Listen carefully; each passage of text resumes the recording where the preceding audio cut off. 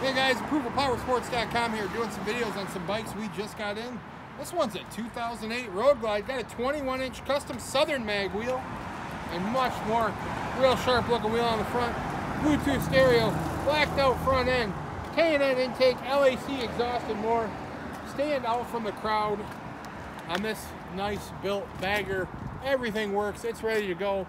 Give us a call, we'll get it done. Check us out at ApprovalPowersports.com. Fill out the finance app, no harm to your credit, instant decisions.